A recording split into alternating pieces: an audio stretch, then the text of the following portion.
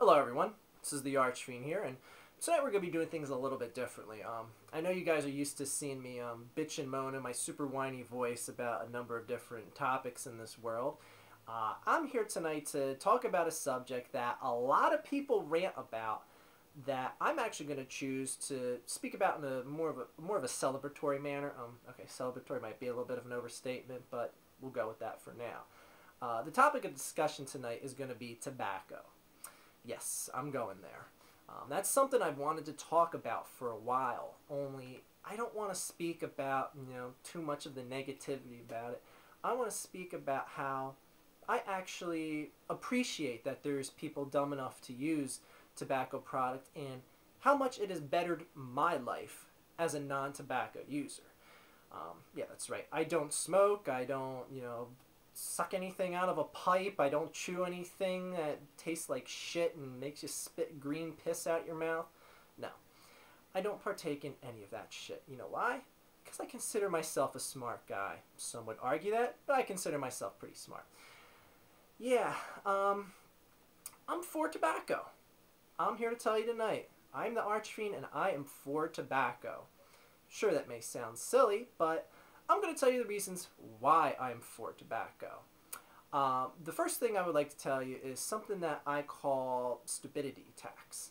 Um, I actually heard Bill Maher refer to stupidity tax when he was talking about stuff like lottery tickets, being that um, there's a certain part of lottery ticket proceeds that go to pay tax revenue in a state, and that would be considered a stupidity tax because you have to be stupid um, to think that you deserve money to, you know, scratch a little coin to a piece of paper and feel that you should be rewarded with beyond your dreams amount of money.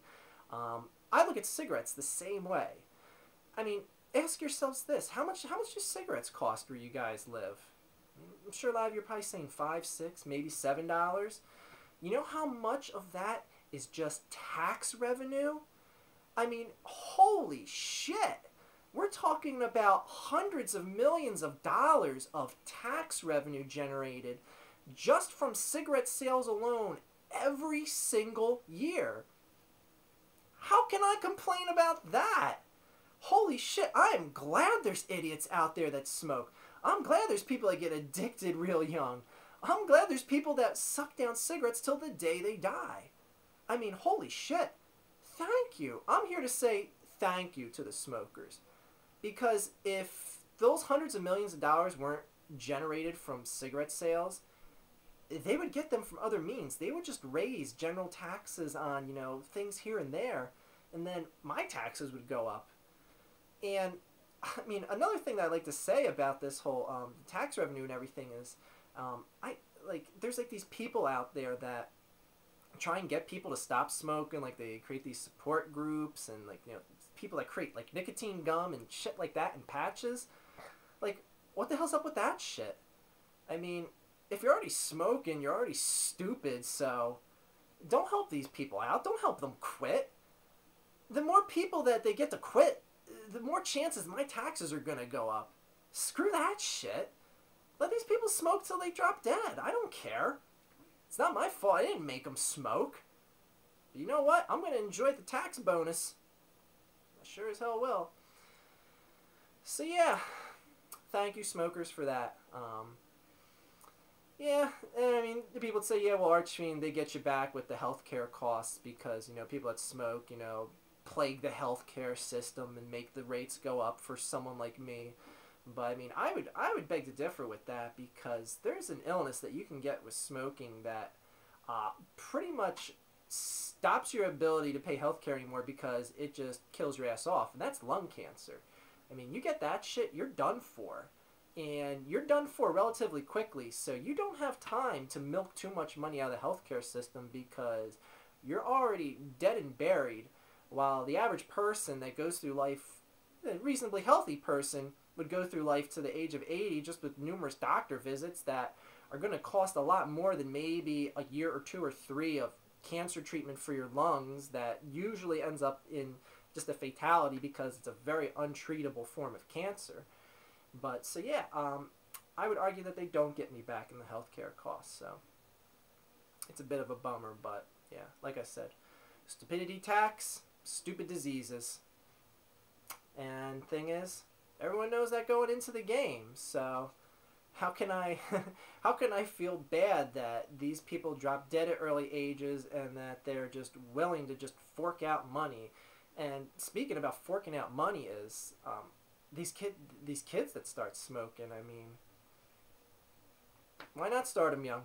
Teach them teach them how to allocate money out of their you know if they have paychecks if they have allowances teach them young how to learn how to allocate that money for you know an extra six seven bucks a week or every other day to get that extra pack of cigarettes and um, make them you know let people let society see them for the weak individuals they are as as early as possible. Um, because in in all honesty you are a weak individual if you smoke. If you weren't then you would know better not to. Sorry but that's just the way it is. Um, I mean, people are going to argue with me and say, oh, yeah, you're just some stupid ass that doesn't know life and doesn't know how to appreciate life. You can smoke every now and then and be fine and it's okay. You don't need to be addicted to it. You know, cut the shit. Smoking has absolutely zero, zero, zero percent of increasing any quality of your life. Granted, you may be able to smoke to the age of 90 and there's a few free cases where there's not a single health issue, but shit, you're paying for that out of your pocket.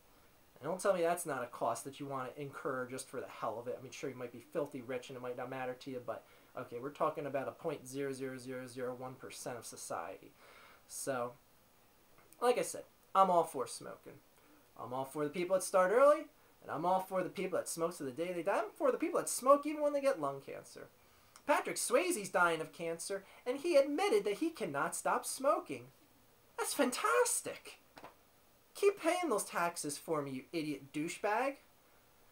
So, have I been cynical enough here, people?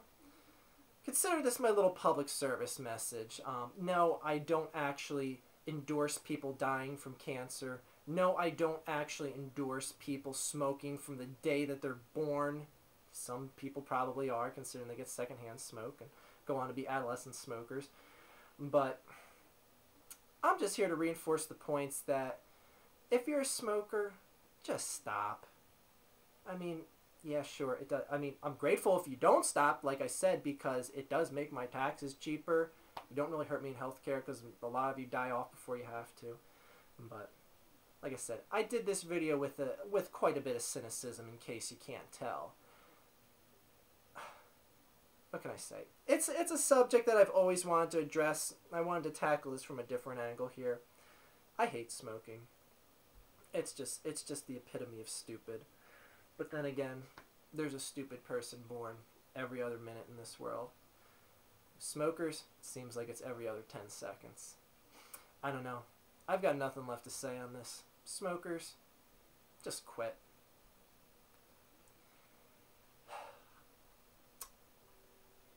Silly little smokers. Have a good night, everyone.